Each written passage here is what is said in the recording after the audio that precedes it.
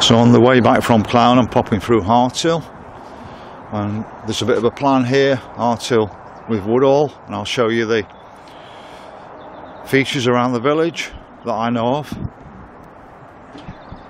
So we have the chapel here now. It's got Christmas stuff around it and everything, but I don't know if it's a, a working chapel or not, or whether somebody lives in it. Wesleyan Chapel 1880, it says on it.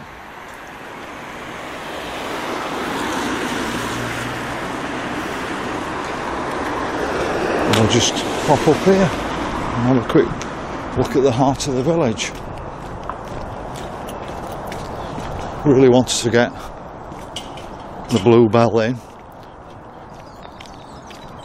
Now it's really nice in the Bluebell, they have a, a proper roaring fire in there. I think that's even on in summer, if I remember rightly.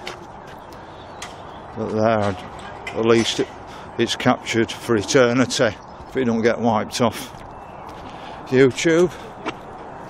And there's actually a I think they have a games night and all sorts in there. But it is a nice pub inside a proper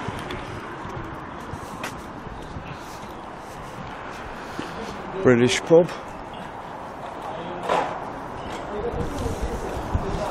So we're on a roundabout here as you can see. That'll take you up to Clough. And I shan't tell you who lives up there.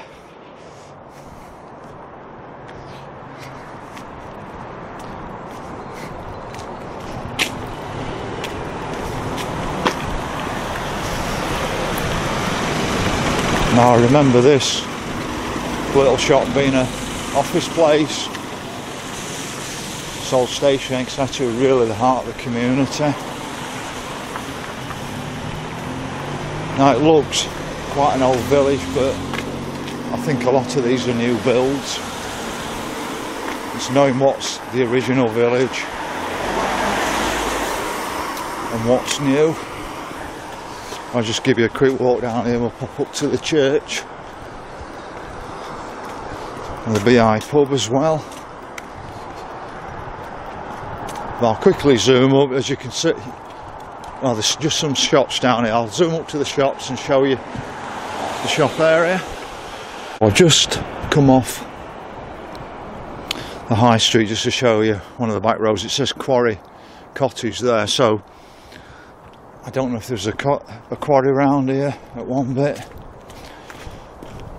But I would have said that there was very little in this village before the 1950s because there are some sort of council houses and they look sort of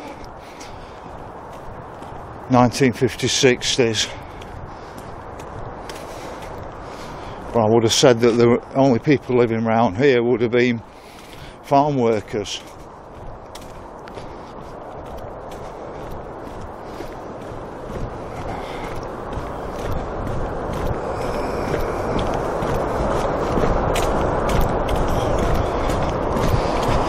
Now I don't know if originally there was shops along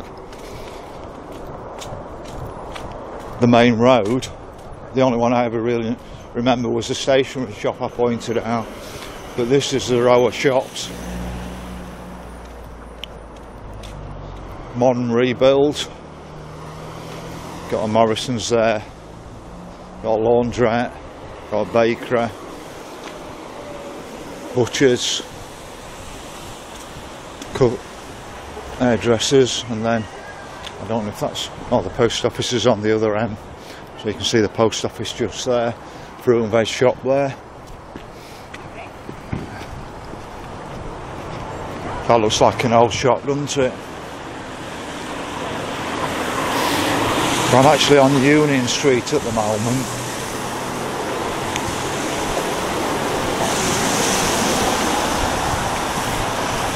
But most of this is looking like new build. There would have been very little around here other than the church and a few farms.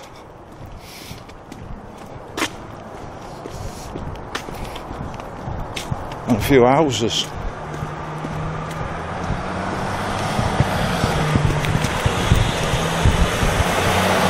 But there are some lovely walks around here, so yeah, I've got a few walks.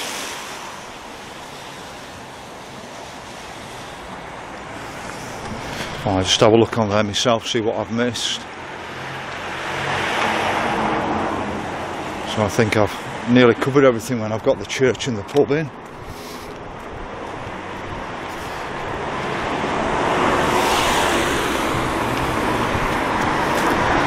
So it does mention it in the Domesday book, but they couldn't, couldn't much here in those days.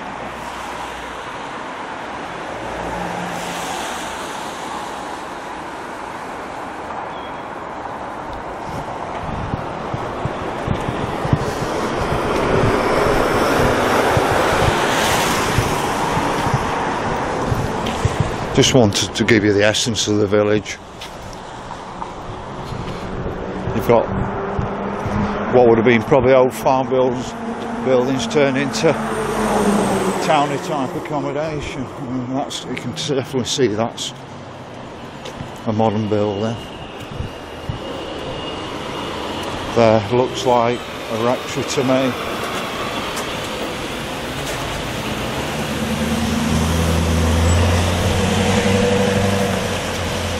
Here we are, have the All Hallows Church and just show you monument for the fallen. So I'm sure that's not the town cross as such, I think. I think there is a bit of community spirit in Artill though. I think they've tried to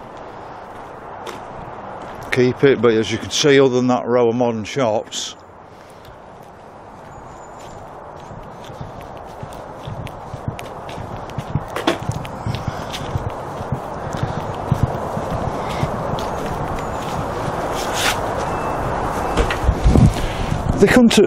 So we've got the old schoolroom here at the back of the church. I just spoken to a gentleman. There's actually more shops here now than there was in the past, which means other than farm workers and a couple of farms and a church, there must have been very little around here. So John Varley lived in Artill Village. You can read that board. Stop it. I'll just zoom it up for you.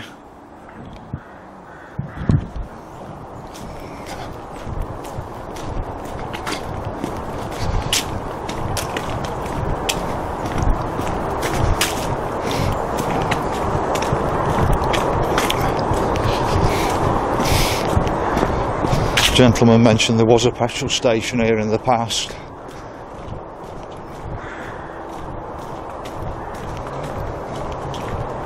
But just over here for probably the last 30 years there's been houses that hadn't ever been finished and suddenly I don't know if they've knocked them down and they're rebuilding them but there's work now going ahead on a load of extra houses around here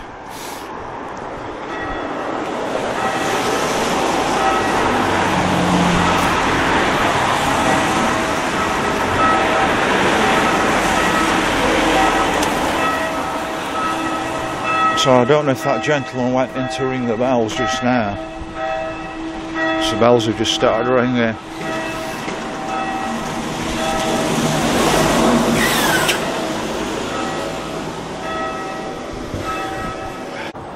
So there's another angle on the church. Right, I'll just uh, sneak up through this gate and after showing you the beehive, I don't like the beehive personally. It was too plasticky. Eh?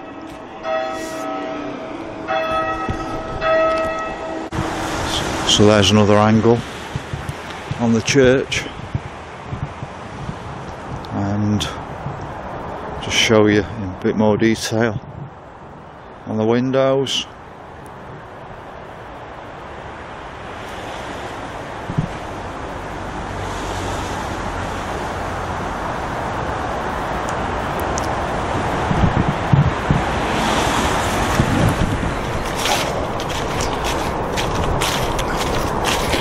What I can't understand is pubs used to survive before they ever sold food, they survived a lot better.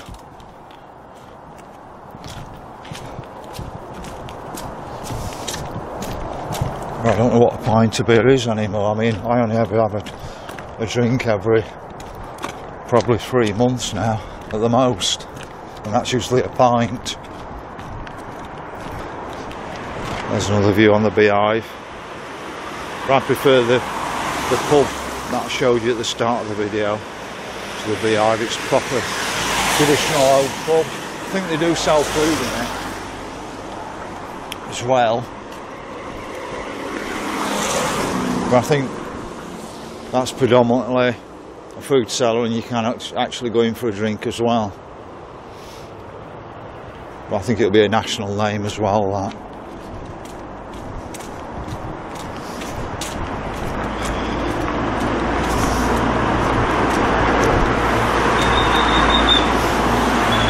God takes you down to sort of Umbraco steel etc down there. There's quite a few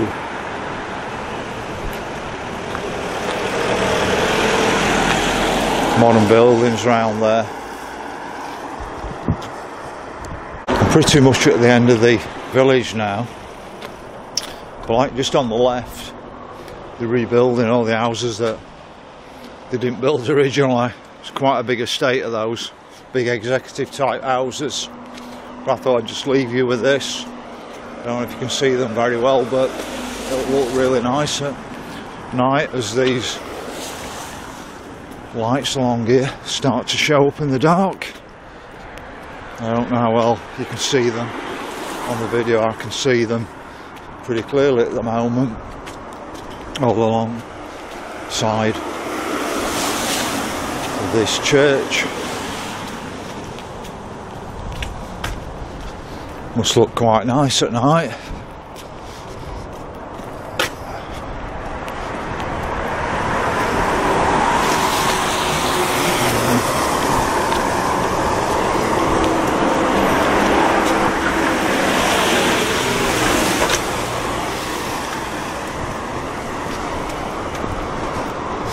But there must be some hidden gems in Artill that I've not seen. And if you're from Artill you know something I missed, please give me a shout.